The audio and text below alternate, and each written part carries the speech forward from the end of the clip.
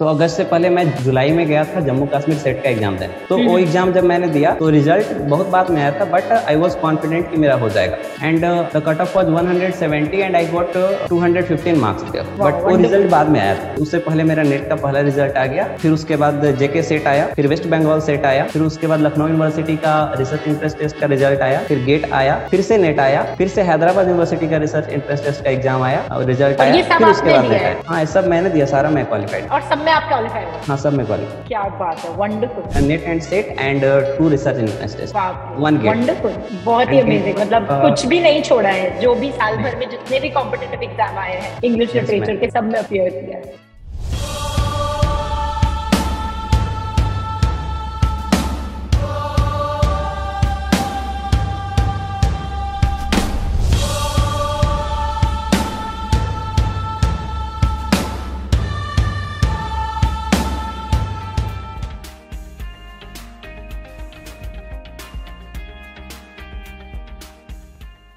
बताइए थोड़ा सा अपने बारे में निशांत कहाँ से है आप एंड आपका एजुकेशनल बैकग्राउंड क्या है? मैम मैं एक्चुअली झारखंड के एक छोटे से डिस्ट्रिक्ट गढ़वा से हूँ। वहाँ पे गाँव है बनपुरुआ वहाँ से। और अ, मैंने टेंथ ट्वेल्थ गवर्नमेंट स्कूल से किया और graduation was like none schooling मतलब मैंने कभी कॉलेज अटेंड नहीं किया। इट वाज जस्ट लाइक कि मुझे ग्रेजुएशन का डिग्री चाहिए ताकि मैं जनरल कॉम्पिटिटिव एग्ज़ाम में बैठ सकूँ। So I was Right. Preparing for general competition but accidentally accidentally I got admission in masters and uh, then I meet a boy, Karma Kumar. Uh, he Mhm. was uh, he's also a student and he qualified JRF uh, in Okay. 2020. Hmm, So uh, he was the one who was answering all the questions of teachers. So I was quite surprised that uh, ही बंदा सारा answer कर रहा है मैं क्यों नहीं हम्म, and उसके बाद फिर एक मैम आई नम्रता मैम हम्म, और हम्म। उनका पढ़ाने का टेक्निक फिर तो मैंने ठान लिया मुझे प्रोफेसर ही बनना है। और फिर मैंने कर्मा से पूछा कि कर्मा कैसे तो देन ही सजेस्टेड कि मैंने अर्पिता मैम से वो किया। So I I was one of those believe in karma like कर्मण्य वाधिका रस्ते मापले सुकदाचन so basic karma was get like notes proper notes and keep revising and keep practising with previous year question and try to understand the concept and the structure of the UGC and I did the same. I revised the syllabus for six to seven times. Like uh, uh, I get your subscription in July, uh, July or August 2021. So I finished the entire syllabus in three and a half months only. Okay okay, पूरे lecture सुन के पूरे lectures को yes ma'am और मैंने पूरा notes भी proper notes मैंने खुद से बना लिया और फिर उसके बाद मैंने प्रीवियस ईयर का पीडीएफ जो है वो सारा प्रिंट करवा लिया तो मैं दस दस घंटे बारह बारह घंटे क्योंकि कोविड टाइम था कुछ था नहीं कहीं जाना नहीं था रूम में बंद तो बस वही खाना बनाना और पढ़ाई करना खाना बनाना खाना पढ़ाई करना। सो रात को एक एक बजे दो दो बजे ही नींद खुल जाती थी। तो हम्म। उस समय से उठकर फिर वही आठ बजे तक फिर एक दो घंटे सो लिए या फिर खाना पीना बना के रेस्ट कर लिए। फिर वही बारह बजे बैठे तो फिर चार पाँच घंटे सुन रहे हैं लिख रहे हैं सुन रहे हैं लिख रहे हैं। ऐसा ही कुछ हो गया था। सो so, और फिर कुछ था भी नहीं कुछ लोग भी नहीं थे। मैं हॉस्टल में था तो हॉस्टल में गिने चुने मेरे फ्लोर पे दो लोग थे और नीचे वाले फ्लोर पे चार लोग। बस उतने ही हम्म। लोग थे और बाहर जाना अलाउ नहीं था गेट बंद रहता था। तो बस वहीं से फिर अ, मेरा जनवरी फरवरी तक कंप्लीट हो गया था। जनवरी तक मेरा पूरा अ, हो गया था। बीच में मैंने एक अटेम्प्ट किया था तो उस समय मैं केवल ब्रिटिश लिटरेचर पढ़ के गया था। वो भी मैंने मॉडर्न पोस्ट मॉडर्न नहीं पढ़ा था मैंने केवल विक्टोरियन एज तक ही पढ़ा था। तो उस बार मेरा 90 परसेंटाइल के आसपास आ गया था because I was good at paper one I thirty five question correct in paper one तो मैंने सोचा कि इस बार तो हो जाएगा। बट फिर से कोविड आ गया। और कोविड आया तो फिर से हम्म। उन्होंने सेशन को क्या किया? मर्ज कर दिया। और हाँ, लिया नहीं जून में एग्ज़ाम और फिर जून और दिसंबर में नहीं लिया। दिसंबर और जून दोनों को मर्ज करके फिर उन्होंने हाँ अगस्त में लिया था एग्ज़ाम तो अगस्त से पहले मैं जुलाई में गया था जम्मू कश्मीर सेट का एग्ज़ाम देने। तो वो हम्म। एग्ज़ाम जब मैंने दिया तो रिज़ल्ट बहुत बाद में आया था बट आई वॉज़ कॉन्फिडेंट कि मेरा हो जाएगा। And the cut off was 170 and I got 215 marks Wow, but वो रिज़ल्ट बाद में आया था। अ, उससे उससे पहले मेरा नेट का पहला रिज़ल्ट आ गया। अ, फिर उसके बाद जेके सेट आया फिर वेस्ट बंगाल सेट आया फिर उसके बाद लखनऊ यूनिवर्सिटी का रिसर्च इंटरेस्ट टेस्ट का रिज़ल्ट आया फिर गेट आया फिर से नेट आया फिर से हैदराबाद यूनिवर्सिटी का रिसर्च इंटरेस्ट टेस्ट का एग्ज़ाम आया और रिज़ल्ट आया फिर उसके बाद नेट आया। हाँ सब मैंने दिया सारा मैं क्वालिफाइड सारे आप और सब में आप क्वालिफाई हुए हाँ? सब मैं क्वालिफाइड क्या बात है वंडरफुल और मतलब six national NET and SET and two research entrance test बाप रे वंडरफुल बहुत ही अमेजिंग मतलब uh, कुछ भी नहीं छोड़ा है जो भी साल भर में जितने भी कॉम्पिटिटिव एग्ज़ाम आए हैं इंग्लिश लिटरेचर के सब सब में अपियर किया है. I was also going for Gujarat SET MP SET and Rajasthan SET but some financial issues that's why I couldn't go there हाँ आई अंडरस्टैंड तो मतलब इतने सारे आपने एग्ज़ाम्स दिए और सब में आपने प्रिपरेशन एक ही रखी? स्ट्रैटेजी बस सेम सेम अभी तो अभी तो जो मैं नेट का एग्ज़ाम देता हूँ मैम मैं एक हफ़्ते बस पढ़ता हूँ बस। क्योंकि मैंने उधर इतने बार पढ़ा है दस बारह बार मैंने इतना रिवीजन कर लिया है कि मेरा एक रिवीजन नोट्स बना मैं बस उसको देख मैं तो इस बार नेट में बारह क्वेश्चन लिख कर गया था गिनकर और बारह में से ग्यारह क्वेश्चन आए थे नेट क्या बात है wonderful so nice so nice तो आपने इवन जो सेट और गेट भी दिया तो उसमें कहीं आपको लगा कि उनके पैटर्न में कुछ डिफरेंस है? हाँ, कि नेट के लिए अगर West Bengal SET was quite different like pattern was same but the questions were like out of the box. Uh, some indian indian writers जो मैंने कभी सुने भी नहीं थे बट हाँ वो मेरे लिए नहीं सबके लिए वो क्वेश्चन टफ थे और कट ऑफ़ भी उनका लो ही था। तो दूसरे स्टेट में जाकर सब जगह जनरल कैटेगरी ही होता है। तो अभी जैसे हम्म। मैंने नेट दो बार जनरल से क्वालिफाई किया एक बार डब्ल्यू से क्वालिफाई किया मैंने। हम्म। तो वो थोड़ा पैटर्न थोड़ा सा अलग था। और हैदराबाद रिसर्च एंट्रेंस टेस्ट का लोगों ने पहले ऑब्जेक्टिव दिया था कि ऑब्जेक्टिव टाइप का एग्ज़ाम होगा बट मैं जब गया तो वहाँ सब्जेक्टिव एग्ज़ाम हो गया। सो so, uh, एक ऐसे था और एक एक ऐसे लिखना था और एक ऐसे दिया हुआ था उसको इंटरप्रेट करके लिखना था। तो ऐसे I selected key animal images in the literature और मैंने भर भर के इमेजेस डाले मतलब मैंने 22 से 25 राइटर्स वहाँ पे कोट किए और उनके वर्क्स और बट फिर भी मैंने करीबन तीन पेज ही लिखा और मैंने देखा आसपास वाले लोग जो हैं एक्स्ट्रा पेजेस लेकर लिख रहे हैं। किसी का नहीं हुआ सिर्फ़ मेरा वहाँ से हुआ। क्या बात है। और इसके लिए भी मतलब आपने जो इवन सब्जेक्टिव एग्ज़ाम भी लिखा तो उसमें भी आपने ऑब्जेक्टिव पढ़ा उसी से हाँ, ऑब्जेक्टिव को ही मैंने सब्जेक्टिव बना के लिख दिया। I was not prepared for subjective exam बिल्कुल। Yes. नहीं ये बहुत ही अमेजिंग बात है कि आपने इतने सारे क्योंकि देखिए जिसने नेट दिया है उसको सिर्फ़ नेट का नॉलेज है but somebody like you who has given so many exams उसको पता है कि सब जगह किस टाइप के क्वेश्चन आ रहे हैं। और इसमें आपको क्रोनोलॉजी बेस्ड क्वेश्चंस में आप किस तरह से अटेम्प्ट हाँ, करते क्या आपने कभी डेट्स याद करी है नहीं कभी नहीं कभी नहीं। बस वहाँ पर कॉमन सेंस कि हाँ ये राइटर इसके बाद आया था वर्जीनिया उल्फ इतने में तो मर गई थी तो फिर इसके बाद तो इसने लिए वर्क लिखा नहीं होगा। तो ये ऑब्वियस ही बात दूसरा को तो वर्जीनिया उल्फ वहाँ पे एलिमिनेटेड ऐसे करके राइटर इस एज का है इस एज का होगा नहीं। तो पहले एज वाइज फिर उस एज में कौन जैसे एज में मॉडर्न एज को भी हम लोग तीन पार्ट में डिवाइड कर दिए एक दो तीन ठीक है? प्री मॉडर्न आया फिर बीच में और थोड़ा सा पोस्ट मॉडर्न से पहले। वाला हाँ वर्ल्ड वॉर के टाइम वाला। तो फिर वैसे करके फिर वहाँ से फिर एलिमिनेट कर करके एलिमिनेशन सबसे बेस्ट है। सबसे बेस्ट कुछ कुछ जो एकदम न्यू टर्म आ जाते हैं उनके लिए जय माता दी। हाँ, वो तो है ही। ट्रू ट्रू और आपने जैसे नेट का जो सिलेबस आपने देखा तो आपने जो पहली बार सिलेबस देखा था प्रिपरेशन के टाइम पे तो आपको क्या सिलेबस देख के ऐसा कुछ लगा था कि मैं अब कहाँ से फ़र्स्ट स्टेप क्या लू? क्योंकि सिलेबस में तो नॉर्मल इन्होंने सिर्फ़ मॉडर्न मैं कहीं देखा ही नहीं। मैंने मैंने सीधे आपका वो सब्सक्रिप्शन लिया और एक तरफ़ से मैंने शुरू किया। मुझे पता नहीं कितना लंबा है। तो जो भी है मुझे करना है।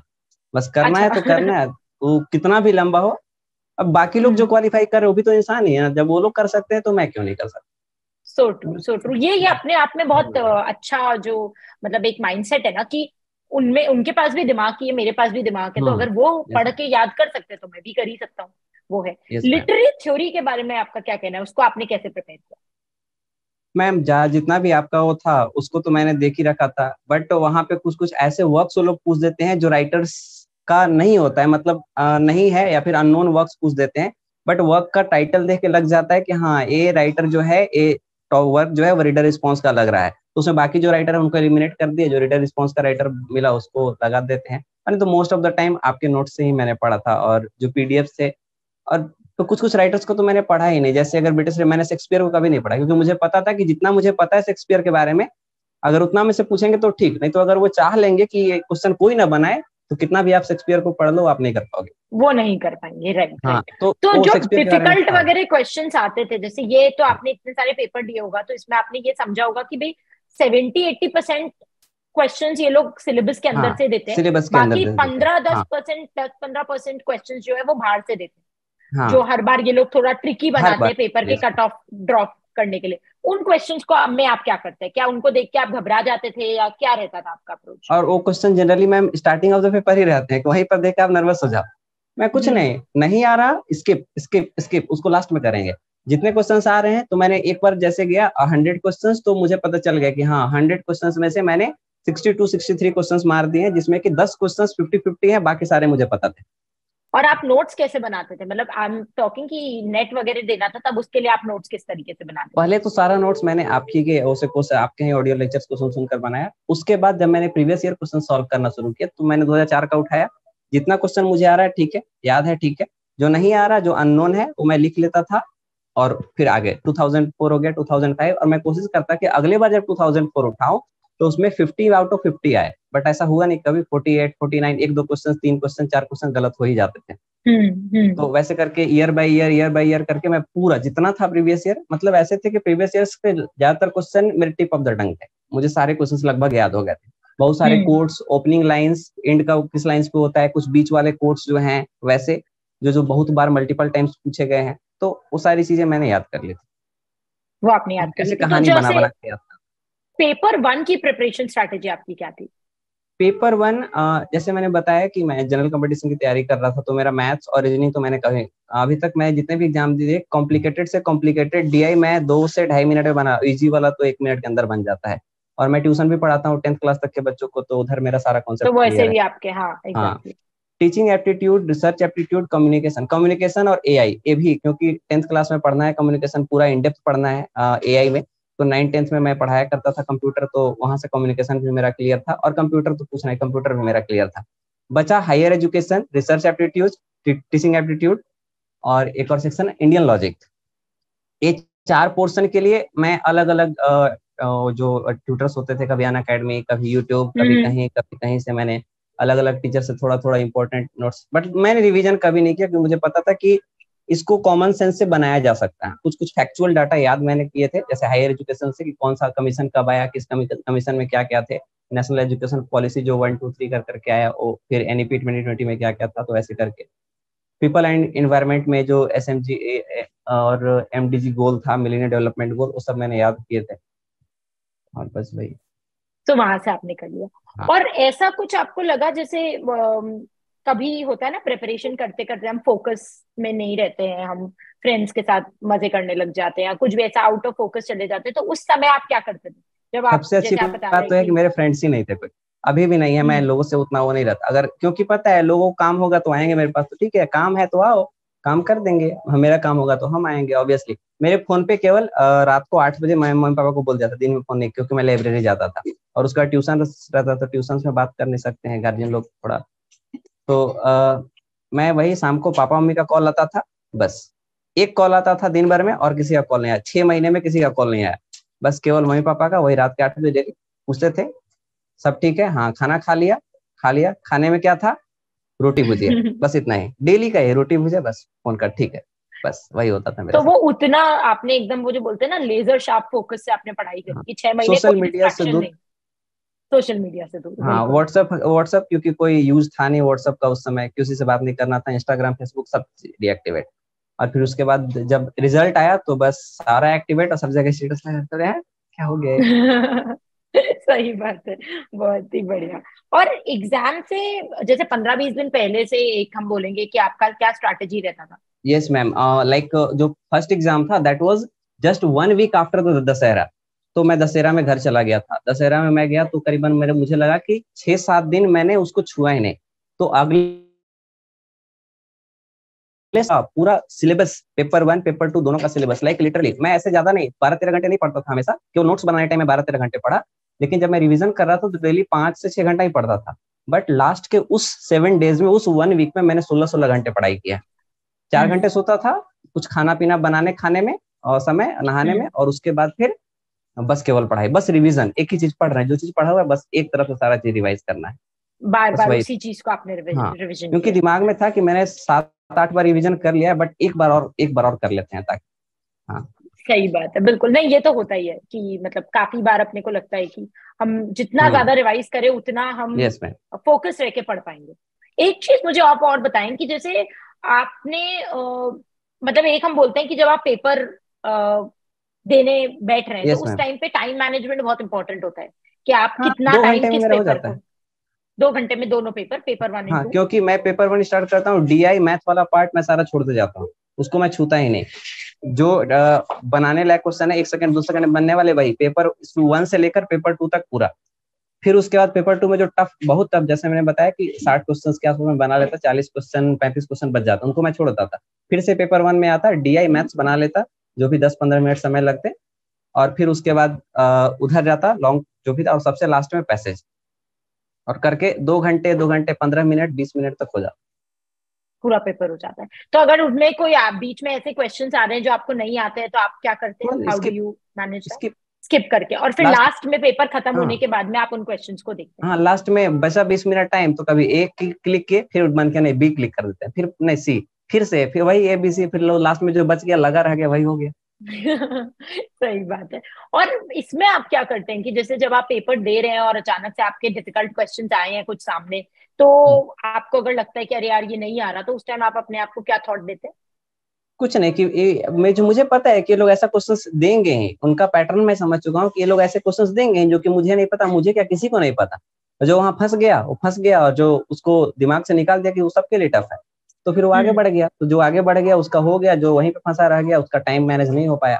सोचने में लग जाता है डीआई कॉम्प्लिकेटेड एक क्वेश्चन डीआई में हमेशा कॉम्प्लिकेटेड रहता है। बनाइए उसको उसमें लग जाएगा बीस पच्चीस मिनट बिल्कुल।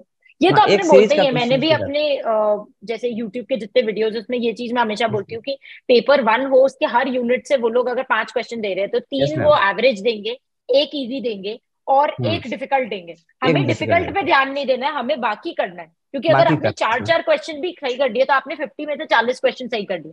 सिमिलरली पेपर टू में भी दस क्वेश्चन वो देंगे ही देंगे डिफ़िकल्ट तो हम्म। आपने अगर नाइनटी क्वेश्चन अच्छा अटेम्प्ट कर लिया और उनमें से आप सिक्सटी भी सही कर दिए तो भी आप क्लियर हम्म। कर देंगे। हमें वो दस को फोकस बना के नहीं रखना है बिकॉज़ वो दे रहे हैं आपका स्ट्रेस मैनेजमेंट टेस्ट करने के लिए। यस मैम कि किस तरह से है। और yes, कोई ऐसी चीज़ जो आपको लगता है कि आप आगे आने वाले एस्पिरेंट्स को अपने एक्सपीरियंस से बताना चाहेंगे? बस मैम एक ही चीज़ है कि पहले प्रॉपर नोट्स बना लीजिए और पढ़ते रहिए पढ़ते रहिए। जितना पढ़ सके जितनी बार पढ़िए वो आपके लिए कम है। जब तक आपका एक बार ना निकल जाए तब तक पढ़ते रहिए आप। जिस बार आपका निकलेगा ना और जिस आपके रिविजन नोट से निकलेगा समझ लो कि वो मेरा रिविजन नोट्स परफेक्ट था। उससे पहले आपका कुछ ना कुछ लैक हो रहा है। ठीक है? कंटिन्यू और प्रीवियस ईयर क्वेश्चंस बिल्कुल नहीं छोड़ना है। प्रीवियस ईयर क्वेश्चंस बिल्कुल बनाते रहना है। और ऐसा नहीं कि कभी इस ट्यूटर के पास कभी उस ट्यूटर के पास पचास लोग पचास चीज़ बोलते हैं अपने पास बुलाने के लिए। मुझे भी मैं भी तीन चार जगह कंफ्यूज था कहाँ से सब्सक्रिप्शन लू। बट मैंने देखा कि आपका जो है पूरा सिक्वेंस में है क्रोलॉजी में। कभी मालूम चला कि आज कोई पढ़ाया British literature age of Chaucer और कल पढ़ाने लगे कि स्ट्रक्चरलिज्म फिर हाउ कैन वी रिलेट जो बच्चा न्यू है कम्प्लीटली जिसको कोई आइडिया नहीं लिटरेचर का वो कैसे समझ सकता है क्या है? जब तक वो विक्टोरियन एज तक जब तक वो टीएससी लेट मैथ्यू अर्नोल्ड को नहीं पढ़ेगा तब तक कैसे पता चलेगा कैसे अन्यू क्रिटिसिज्म एग्जिस्टेंस में आया? एग्जैक्टली एग्जैक्टली हाँ, तो और कोई क्रोनोलॉजी में पढ़ना है बिल्कुल। मैं हम लोग भी इसीलिए क्रोनोलॉजी में पढ़ाते हैं कि आपको अगर स्टार्टिंग से सब समझ में आएगा तब आप एंड में सारी चीज़ें समझ पाएँगे। Yes, नहीं तो आप समझ भी नहीं पाएँगे। और आपने ऐसा कोई भी मॉड्यूल है जो छोड़ा आपने कोई भी चीज़ जैसे पोस्ट कॉलोनियल यूरोपियन कोई भी लिटरेचर no, uh, नहीं एक मॉड्यूल मैंने छोड़ा था रिसर्च uh, मेथोडोलॉजी वो आपने लास्ट का छोड़ा। हाँ, बाकी आप सारा करके। और टीचिंग और इंग्लिश इन इंडिया क्योंकि मैं हायर एजुकेशन हायर एजुकेशन में मैं पूरा इंग्लिश इन इंडिया मेरा पूरा कंप्लीट था। तो दो मैंने हम्म। नहीं पढ़े। ये दो आपने नहीं पढ़े बाकी आपने एंड टू एंड पूरा हाँ, पढ़ा है। बाकी पूरा बाकी पूरे पूरे राइटर्स उनके सारे वर्क्स किसको नोबेल प्राइज हम्म। मिला किसको बुकर प्राइज मिला किसको साहित्य अकादमी मिला और आपको ये मुझे बताएँ जैसे एक बहुत बड़ी प्रॉब्लम स्टूडेंट्स को जो देखने को मिलती है निशांत वो ये कि अब बहुत सारे मार्केट में आपको ऑनलाइन ट्यूटर्स हैं कोचिंग क्लासेस हैं बुक्स हैं दिखेंगी। कोई स्टूडेंट अगर पढ़ने आ रहा है तो वो फिर किस तरह से चेक करे कि ये मेंटर उसके लिए सही है? जैसे आपने क्यों डिसीज़न लिया कि आप मेरे को ज्वाइन करेंगे आप किसी और को नहीं करेंगे? मैंने रिव्यू लिया पहले लोगों से बाकी लोगों से कि कहाँ बेस्ट है जो पहले कर चुके हैं। जैसे अभी तो हम्म। अब यूट्यूब पे बहुत सारे लोग का इंटरव्यू अब तो सारे लोग जैसे मैं आपके बारे में बोल रहा हूँ वैसे कुछ लोग किसी और के बारे में बोलेंगे बट मैं ट्रूली आपके बारे में ऐसा नहीं कि आपने मुझे कुछ वैसा आप मैं मुझे लिटरली अच्छा लगा सारा चीज़ क्रोनोलॉजिकल ऑर्डर में था बुक्स पढ़ के मुझे ऐसा लगा कि बुक्स पढ़ के मैं उतना नहीं कर पाऊँगा सुनकर लिखना और खुद से पढ़ना कुछ समझा रहा है और खुद से पढ़ के समझना दैट इज़ कम्प्लीटली डिफ़िकल्ट तो हम्म। और आपका सारा चीज़ क्रोनोलॉजी में तो एक चीज़ दिमाग में रखो कि मिलेंगे तो बहुत सारे कुछ लोग धोखा खा के सीखेंगे और कुछ लोग दूसरों की बात होता है दूसरों की गलतियों से सीख लेना। तो मेरे कुछ फ्रेंड्स हम्म। है जिन्होंने दूसरे का सब्सक्रिप्शन लिया और फिर बोले कि नहीं कभी कुछ कभी कुछ प्रॉपर ऑर्डर ही नहीं है। तो उनकी गलतियों से मैंने फिर उन्होंने ही कहा कि नहीं किसी एक का है ऑर्गेनाइज वेल ऑर्गेनाइज वहीं से ले लो फिर मैंने ले लिया। तो वहाँ से हाँ। बिल्कुल बिल्कुल। And I really wish you all the very best for your life Nishant I am very very proud of you and my entire team कल मेरे पास जब मेरी टीम के साथ रात में बात हो रही थी तो वी वर सेइंग कि काफ़ी सारे स्टूडेंट्स हमें बात करनी है। एंड आज सुबह ही उनसे डिस्कशन होता था तो उन्होंने इतना अच्छा डिस्क्रिप्शन दिया आपका। मेरे को जब बताया था कि इतना ज़्यादा उन्होंने एग्ज़ाम्स क्लियर करे हैं ये किया है वो किया है I was so proud that I was really looking forward to this call कि uh, मैं आपसे इंटरेक्ट करके समझू कि इतने सारे एग्ज़ाम्स आप एक लाइन से क्लियर करते जा रहे हैं उसके पीछे क्या राज है। मैं बस वही जो उसके बाद से जो मैंने फ़र्स्ट मेरा जो नेट हुआ उसके बाद से मैं किसी एग्ज़ाम में डिस्कालीफाई हुआ ही नहीं। But like first time they have written ऐसा नहीं था कि वो लिख देते हैं फेल फेल लिख देते ज़्यादा बुरा नहीं लगता है। They have written you are not qualified for JRF and SSC. and it's like someone is slapping on your face that you are mm. not qualified you do not deserve it. तो आ गया कि नहीं। अब इतने बार qualify करना है कि आपको जाने का मौका नहीं मिला। सो सो नाइस सो नाइस चलिए आप पूरे फैमिली को कंग्रेचुलेट करिएगा आपके मम्मा पापा को करिएगा और आज सिर्फ़ रोटी भुजिया के अलावा बहुत सारी चीज़ें खाइए। एंड आपने आपने जो इतनी सालों की आपकी मेहनत है वो रंग लाई है और इतने सारे एग्ज़ाम्स आपने क्लियर करे। एंड आई होप कि आप आगे भी इसी तरह से एग्ज़ाम्स क्लियर करते रहें। And yes, India will be very very proud to have a child like you who is so dedicated and who is taking India to next level. So wish you Thank all you so the very much, best, Nishan. And keep rising high just like you are doing. Well, and I also thought that uh, in October RPSC is conducting exam for assistant मैंने सोच लिया था कि ठीक है नहीं phone पे नहीं मैं जाके मिलूँगा मैम से। अरे But बिल्कुल मैं, आप जब भी आए I'll visit you. मैं आऊँगा आरपीएससी का एग्ज़ाम देने तो मैं बिल्कुल आऊँगा। एब्सोल्युटली आप मेरी टीम को कॉल करिएगा and will be more than happy to welcome you and आपके नेट की और इतने सारे एग्ज़ाम्स क्लियर करने की पार्टी आप जब आएँगे तब हम सब बैठ के करेंगे मिलके। बिल्कुल। चलिए thank you so much Nishant bye thank you ma'am thank you bye